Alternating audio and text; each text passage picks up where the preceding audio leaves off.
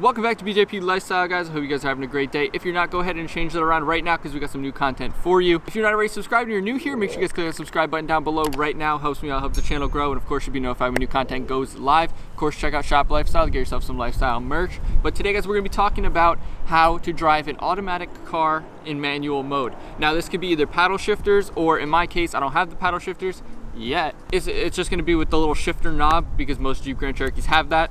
Uh, my Jeep Grand Cherokee has that obviously, so that's what I'm gonna be showing you guys how to do it on, but the same principles are gonna apply for that or paddle shifters. Um, it's not the same as driving a manual car, and I know a lot of people in the comment section have been asking me about this and asking about the saying they don't use their paddle shifters ever, even though they have an exhaust and they wanna get some tones and some downshifts and stuff like that. So that's what we're gonna be doing, so we're gonna go ahead and jump on into the car here now and uh, hop on the GoPro cam like I usually do and show you guys how to do it. All right, my camera battery for some reason didn't charge on my GoPro, so I'm gonna run out of battery quick, so we're gonna go ahead and send this. First thing we gotta do, obviously start up the car. Um, hopefully the angle's good. It might be a little bit different than my normal driving videos because I want you guys to be able to see the shifter here so you can see like driving and stuff. So obviously if you guys have never driven a manual car, then you'll not know maybe, but there's normally a clutch pedal over here if you guys are driving a manual car over on the left side for your left foot. Um, and basically you have to push it in all the way to engage the clutch and then you'll shift and that kind of stuff. So um, if you are used to driving a manual car or you've driven a manual car, then you'll know that you usually are gonna let off the gas when you shift and it's gonna be like kind of a, I don't know how to explain it, but you're gonna be moving your feet and letting off the gas when you push the clutch in and shift and then back on the gas kind of thing. You don't have to do that in an automatic car, which is something that I think a lot of people get confused about when they're driving an automatic car in manual mode or learning to or understanding it, I guess, uh, especially if you have that pre-found uh, notion about driving a manual car and letting off the gas and clutching in and stuff like that. So uh, basically you're just gonna throw this baby in drive. And then in my case, in my Jeep, you can see we have the drive and then the manual mode. So to put in manual mode, you just tap it to the left. Um, and then you see that we're in manual mode and you can tell that it's in manual mode by looking up here. So if you see PRND, so it's in drive, and then when you click it over, it shows you that you're in first. Um, obviously, if you wanted to go into like neutral, that's gonna be like just like your N and you would just have to shift over and up to neutral. So you see we're in first, right? If I let off the brake, it's just gonna do the same exact thing as if you were driving normally. Now, I, I understand that it can be a little bit confusing, I guess, uh, but you'll see it kind of feels a little weird. So we get going, give her a little gas. You kind of hear it though, that it's not like shifting, even though it feels like it should. So all you do is you just tap it. So you guys might understand now a little bit better just based on that feeling or that hearing that. Um, so if I go back to first, um, I'll do this and uh, do a little bit of damage to my transmission probably, but just to show you guys, if you click back down to first, you can see it says one there. And then if I give her some gas, you can hear that it wants to shift, right? But it's like, it's not because it's not automatic shifting. So all you're gonna do is just pull back on it. At least in my case, you'll see that it has a minus and a plus uh, right down here.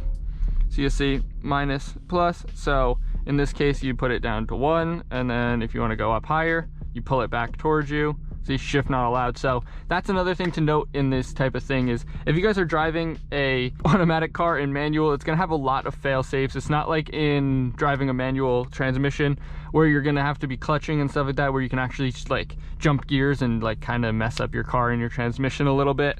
Um, it has a lot of fail safes on it because it is just still driving it automatic, but you're having a little bit more control, which is nice for like downshifting and stuff like that and getting a little bit more tones out of it, um, is to get those little bit more tones. So if we're in first, you could even probably just start in second, but if we're in first, so you don't even have to let off the gas second, you can even get into third, and it's just, it's very simple. You don't, it's not like as much thinking as clutching in and stuff like that. Um, and if you want to slow down, you can use the engine braking even with it. So you put it down to two.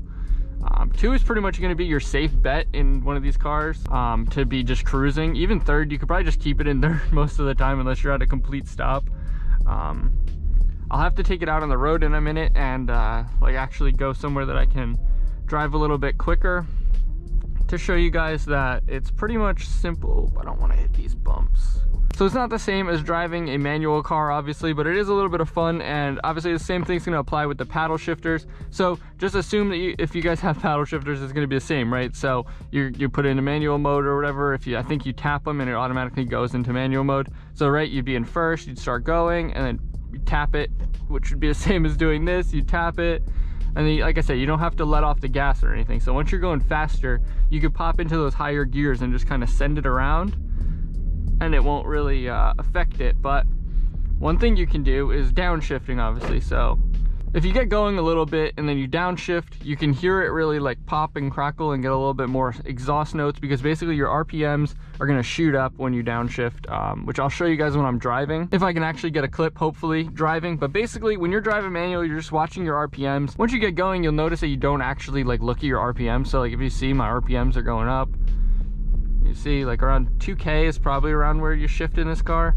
just because it sounds like it's winding out and like even there, just doesn't sound too good like two two and a half thousand rpms is probably the spot that i would say that you're gonna want to uh, want to shift in this um, which is kind of weird because you can go to higher RPMs in like most cars, but since it's an automatic, it's gonna have that kind of fail safe where it's not really letting you crank the RPMs like you want to. It's basically you're shifting when you're about two, two and a half thousand RPMs. Higher RPMs when you guys go into like a passing kind of gear type of thing, you wanna be obviously in a higher gear. You don't wanna be just mashing it in first or something like that. That's not good for the car. But like I said, there's a lot of fail safes to kind of save you from that. But you're basically just gonna shift. Um, one thing you can do is throw it in automatic mode and then just we can watch when it's shifting shifting. 2K, exactly 2K. So I feel like this, I like I feel like I was correct on saying 2K because in automatic mode it just shifted uh, to 2K. So let's see if it does it again here, if I get her a little bit more. Yep, it shifts right around 2K. So um, you can do the same thing in manual mode and just kind of use that as reference. Um, if I pop it in here, you'll see we're in second and then we can drop it down to first. Um, but it can be a lot of fun, like I said, if you guys want to get some pops, some crackles, a little bit of downshift noise, and just get yourself a little bit more um, more sound out of your car, more control, and just have a little bit more fun. Like I said, if you guys have the paddle shifters, it's even more fun because you can just whap on them and you don't have to be like over here cranking these up. But let me go ahead and take this out on the road and find a spot that I can actually get a good shot of me driving um, and kind of show you guys actual shifting of it so that you guys can understand it a little bit better. All right, so you can see here, it just started raining, but we're going about 35 or so. And you can see, you can, you can tell when you need to shift. Um, in the higher gears, you don't need to shift as early as flat 2K. You can go like two and a half, 3K maybe. Um, see here, we're slowing down a little bit so we can downshift. You can hear those downshift noises, hopefully, even though it's raining. See? See here, you're taking a turn, you downshift a little bit pop it back into drive though, just so we can uh, turn around easier. Um, so unfortunately my GoPro just died, which is why it just cut off there, hopefully, or maybe I cut it. But either way, my GoPro died while I was driving down the street. All right, so when I'm talking about RPMs, if you guys know absolutely nothing, I'm gonna talk to you guys like you have no idea. That way, if you don't know, you know. You don't wanna go to where it's like orange, because you're basically gonna redline it. It's not good for your engine. So it's not very good for your engine if you're hitting that red line over there. Um, in most cases, you're gonna wanna stay around two, three, maybe 4K when you're shifting. Obviously, if you wanna really power it. If you guys floor it and drive, you'll notice that uh, as you switch into like a passing gear from flooring it, it's gonna shoot up to five, six, K and then shift. And if you put in sport mode it'll shift way higher like that. The shift points change. Um, but if you put it in manual you guys will understand a little bit just kind of play with it. Drive around a parking lot to understand it a little bit better. Um, it's it's definitely super fun especially if you guys have an exhaust and paddle shifters. Unfortunately like I said I don't have the paddle shifters on my uh, on my Jeep here. Um, I might be installing them soon. I don't know. Let me know what you guys think about doing that down below. Someone recommended it, so I might do it. But you got your RPMs over there, and then over here is where you'll see your drive mode. So this is where if I put it into drive, you'll see it switches to drive, obviously. And then if I click it over, you'll see that it's one, two, and then I can't go any higher because I'm not driving. So if we click it back over, you can click into neutral, which is, I guess, part of it. Like, if you want to switch into neutral, you can do it while driving. I don't know.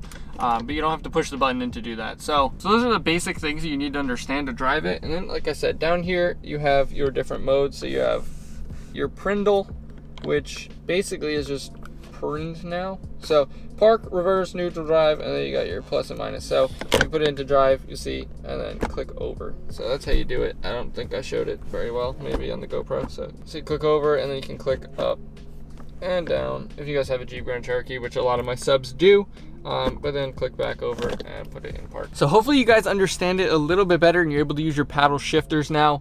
um, I, it's kind of hard and difficult to explain to someone through like a video like this, in my opinion. Um, you'll get the hang of it though. It's not gonna hurt your engine too bad. It's it's manual mode on an automatic, so it's gonna automatically shift if it needs to. It's gonna correct itself. It's gonna overall just be fine. So you, you guys will be fine. Go ahead and play with it. Use your paddle shifters. Have a little bit of fun and uh, get some downshifts if you guys have an exhaust. Send me them on Instagram, either Instagram DMs or just tag me in your posts, your stories, all that kind of stuff. I love it when you guys do that. So let me know down below if you guys learned a little bit or if you're gonna use your paddle shifters now, because I know a lot of you guys were commenting about it, and I, I do not understand. If you guys have paddle shifters, you, you gotta use it. Have a little bit of fun sometimes. Sport mode on this car is fun. And overall, just if you guys are driving with just a normal manual mode, if you guys like manual that much and you're driving it all the time, maybe just go ahead and buy yourself a manual car. I, I don't know.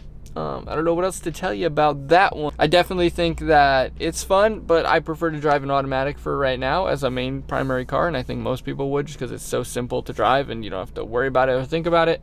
But if there's anything that I left out that can help other people down below, make sure you guys do that. Of course, stay positive. Don't don't don't bring that negativity into my comments. Don't do it. Don't do it. I've been seeing a lot of comments lately throughout my videos. I almost have 100 videos on the channel now, which is crazy. This will be 97 out of 100, so we're three off hitting that 100 mark. But there's been a lot of negative comments throughout my time making videos. So keep that negativity out of here. You know, we're only positive around here. I want you guys to have a good day. And uh, let's go ahead and hit that outro. All right, that's to be about it for this video. If you did enjoy, make sure you click that like button down below to help out the YouTube algorithm, help this channel grow, help the video get out to more people so that they can learn. And of course, comment down below anything you guys have to say about it. If you have the paddle shifters, if you like them, if you already knew how to use them, if you use them, if you don't, that kind of stuff. Just let me know. Let's spark some conversation down below. And of course, subscribe to stay up to future content. We have new videos every Monday, Wednesday, and Friday at 3 p.m. here on the channel. So make sure you guys don't miss out. And of course, check out shoplifestyle.com to get yourself some lifestyle merch. But thanks for watching, guys. Peace.